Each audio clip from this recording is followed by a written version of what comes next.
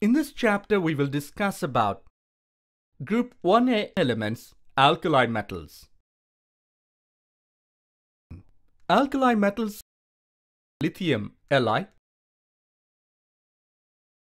sodium Na, potassium K,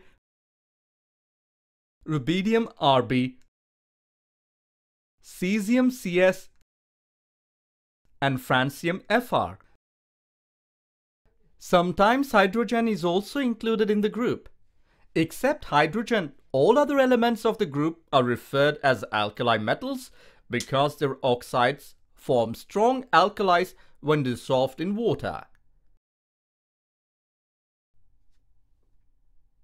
Occurrence All these elements are highly reactive.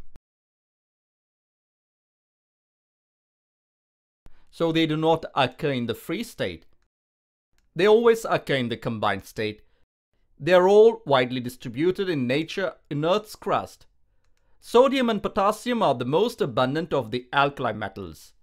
They occur mostly as their halides. Example, common salt, NaCl, sylvine, KCl, carnallite, KCl, MgCl2, 6H2O. General characteristics Physical state 1. All the alkali metals are silvery white except cesium, which is golden yellow solids. Silvery luster is due to highly mobile electrons of the metallic lattice. 2. Softness also increases from Li to Cs due to weakening of interatomic attraction. 3. All are soft metals and can be cut with knife when freshly cut, they have bright luster which quickly tarnishes due to surface oxidation. 4. At normal temperature, all the alkali metals adopt body-centered cubic BCC type of lattice with a coordination number of 8. 5.